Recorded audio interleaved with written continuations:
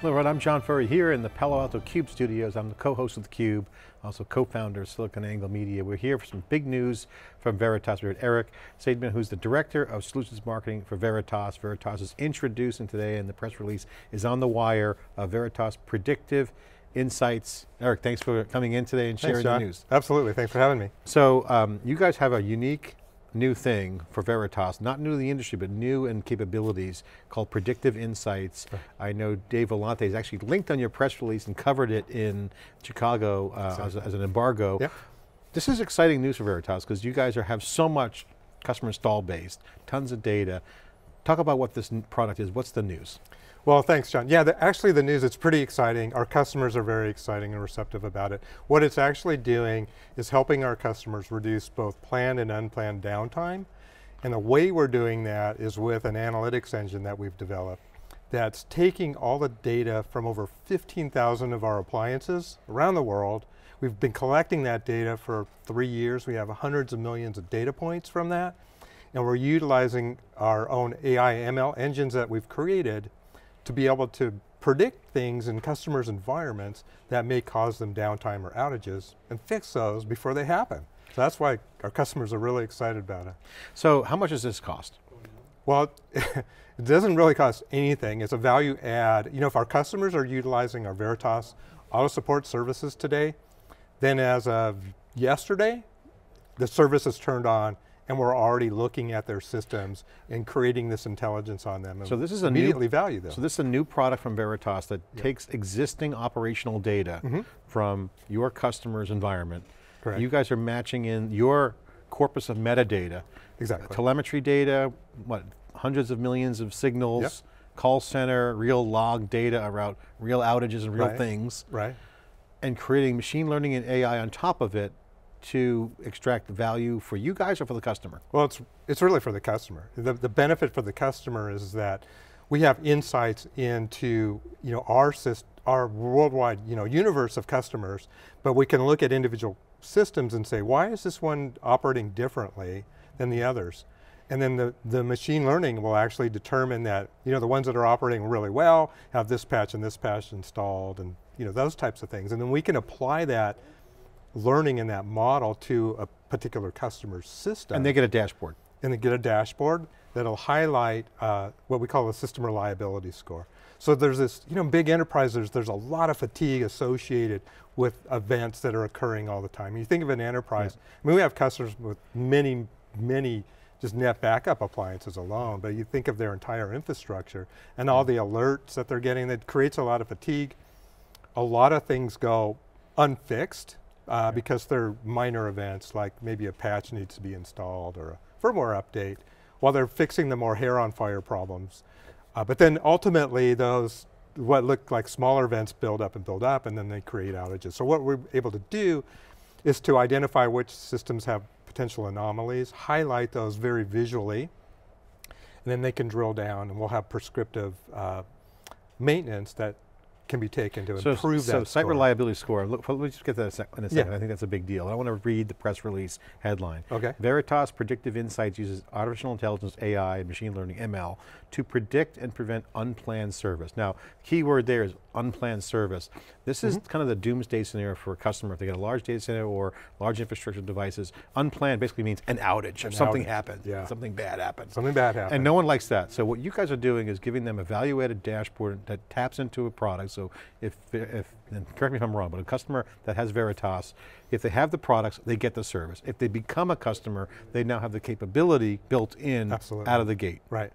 And so they see all this. So you're taking all the data from years of yep. experience. Exactly. Giving them a dashboard to help them look at unplanned downtime type scenarios and give them specific actions to take, predictive analytics and prescriptive analytics for them.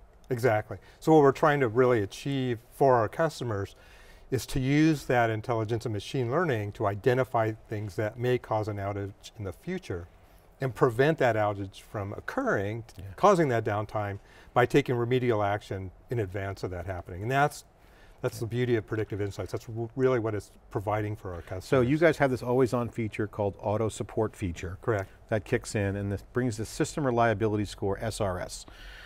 Um, I think this is important. I want you to explain this. Mm-hmm. I think this is a trend we're seeing certainly on the cloud side of the market. Google has pioneered this concept called site reliability engineer Uh-huh. over years of practice on how to make their infrastructure work great.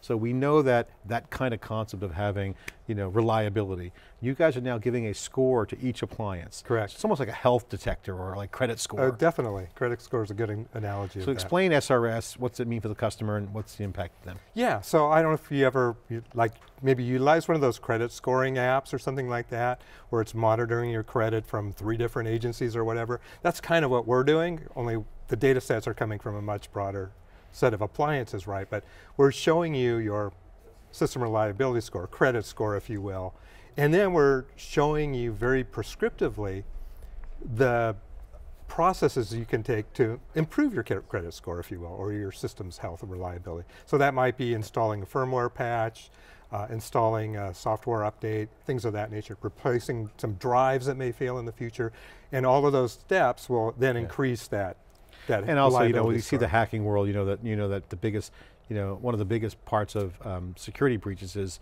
you know, not loading a patch. Yeah, Um, exactly. The unplanned, unforeseen things are, you know, some sort of thing goes on, hurricane, wildfire. You ever know, you never know what's going to happen. So you got to be pre be prepared for those kinds of Mm-hmm. infrastructure change or whatever.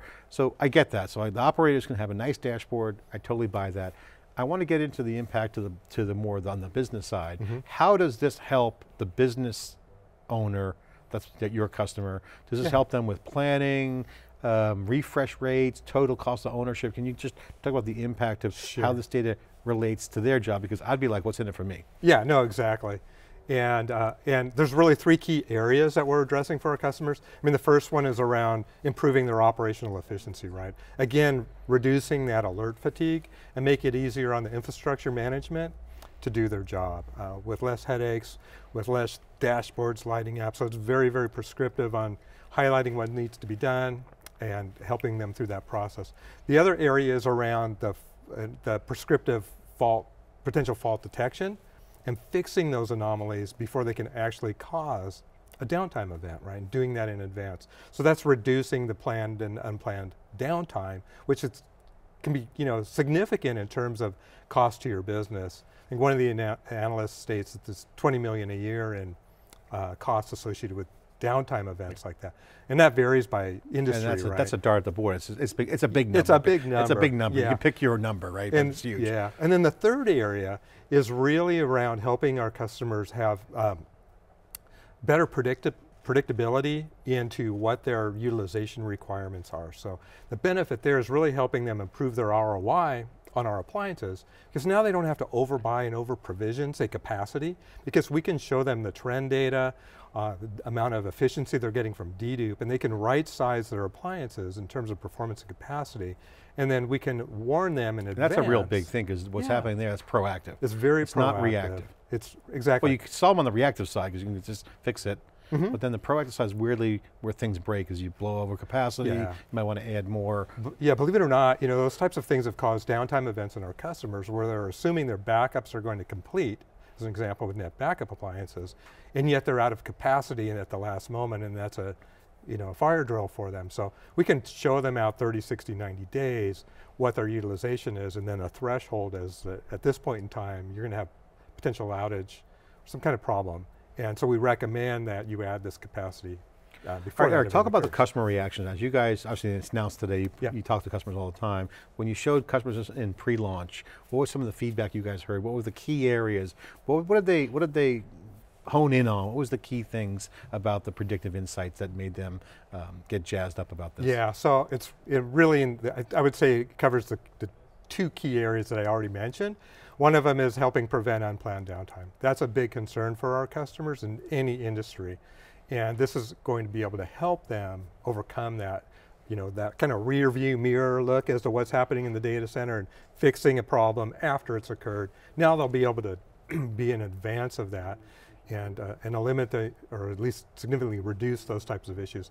And then the other one is helping again in, the, in that event fatigue at the operational model. That's where we've gotten the best feedback. So I got to ask you um, the hard question, which is, hey, you know, predictive analytics has been around for a while, Mm-hmm. predictive. Why now? What's different about this opportunity. Obviously free is good because you can get your customers get turned on pretty quickly, they Yeah. get the benefits immediately, and net new customers get it. I mean, I get that piece. Yeah. But what's different about you guys with this versus what might be out in the market? Yeah, I would say the key differentiation is, is that we have this very, very large universe of installed base systems that we've been gathering data on for over three years now. Uh, so the more data you have, the more data points you have, the better results you'll get from a machine learning type of environment. And we're still collecting data both from um, the machines that are coming in from the telemetry data, as well as, from our service personnel. So that right off the bat makes our, our kind of solution unique in others that may have been like out sooner in that we've developed a rich data set that is you know, being applied to the machine learning and hence our results out the gate are very, very good. And you're using that, you're not actually charging for it, so that, Yeah. that's another big one. That's true too. Yeah. So let's get into the specifics on the rollout. Um, Mm-hmm. So this is a digital transformation table stake. You guys are checking Sure. a big box here, this is good. Uh, and it gives your, your, your product some capability to leverage that metadata. And that is what, the, what, what uh, this data-driven world's about. And certainly IoT is going to even make this even Yeah, more of a, a table stake. Um, on the rollout side, it's all appliances, Veritas, Mhm. And then software only, and then you're going to go beyond Veritas, is that right? Yeah. Explain that, what does Yeah. that mean? So I get the appliances, what does software only mean and what does beyond Veritas mean? Yeah, sir. So just to reiterate, today it's of our appliances only. But many of our customers consume our solutions as software, right? And they're putting it on their bring your own server model. Uh, probably about 40% of our customers, right? So we believe we can add this type of capability to be able to provide insights into our software that's installed on uh, independent third-party hardware as well. Uh, maybe some of the capabilities won't be as rich, but we're going to start building those capabilities over time and try to bring in that data and help those customers that are software only. And that's on the roadmap, That's on the roadmap. because yeah. it's not available today. Okay, Yeah. beyond Veritas. Yeah, so obviously many of our customers today are protecting data on-prem, protecting uh, data in the cloud or some kind of hybrid model and we support, we don't really care where the customers want to store their data, we're capable of protecting it and um, helping them achieve uh, whatever those cloud type of uh, initiatives are in their environment. So an obvious next step would be to, hey, how, how can we bring this to help you know where your data is located and how it's working in those environments. Is, is that uh, backup going to be able to be restored as an example? So we're looking at Yeah. you know, future capabilities to add on to this that are going to be huge value to our customers. This is great news. Thanks for coming in and sharing, really appreciate it. I want to get your Thanks, John. thoughts on uh, some observations that we've been making. Mhm. Certainly the cube coverage of Veritas has been increased. Dave Vellante has been out on the road with the team. I've looked at some of the new backup recovery versions, looking at new UI, everything's kind of a new Veritas going on here. Kind of is. Um, what's the vibe going on in Veritas? What's new about Veritas for the folks watching now and say, hmm, this is really cool. Veritas is cool and relevant right now. You guys, products are product market fit. You Mm-hmm. just got kind of a new Veritas vibe going on. What's it all about? Share your, your thoughts. Yeah, so I think there's, you know, some people call us legacy, right? But I don't think that's necessarily a bad term, right? I mean, like, when I'm, when I'm gone, I hope I've left a, a legacy, right, that's worthwhile. Yeah. Uh, and so we have that legacy, which is great because we've been adding uh, this value for our customers uh, many, many years, right? But what's new and exciting, I think, for us is that we're able to provide solutions that are very, very simple to utilize, very easy to accommodate whatever their requirements are, whether it's on-prem, hybrid, or, or in the cloud. We don't, we don't really care.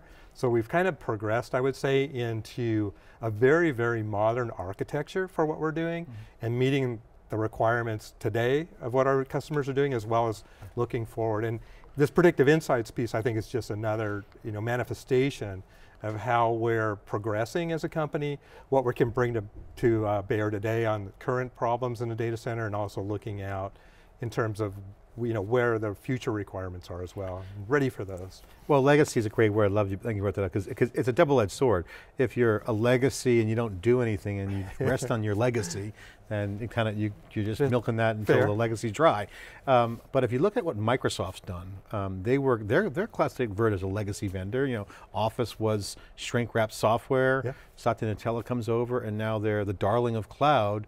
They've shifted their product and execution to be what customers want, which is cloud. Now they got Office 365, Exactly. Azure's, you know, been repurposed. There's some stuff that they're still working on, but but clearly cleared the runway. Yeah. And you know, Oracle, not so much. Microsoft has. So this is a Veritas kind of vibe that's going on similarly to Microsoft. You guys are looking at, hey, we got install base, we're going to use that and leverage the assets of that install base, that legacy, harness it, and make it part of the digital transformation. Is that kind of that vibe? Yeah, no, exactly. And I think Microsoft's a great uh, example. I mean, we're in tight partnership with Azure, as a matter of fact. I just came from one of our Vision, Vision Solutions, Solutions days where a gentleman from Azure shared the stage with us and talking yeah. about our partnerships and all that. So I mean, great example, right? But we're bringing those capabilities uh, into the cloud era, if you will. Yeah. Yeah. Uh, we have uh, solutions that run natively in cloud, help help that environment. So Making the transition, a digital yeah. transformation. Veritas, the new Veritas, they got the solutions that are cloud enabled, using data for the benefit of the customers, not just trying to you know, bolt it on and, and make more money, they're actually bringing value to the install base and, and, changing the game up. Eric Seidman here inside theCUBE, Director of Solutions Marketing at Veritas, uh, part of the CUBE conversation, part of their news coverage of their predictive insights. I'm John Furrier here in, in the Palo Alto Studios. Thanks for watching.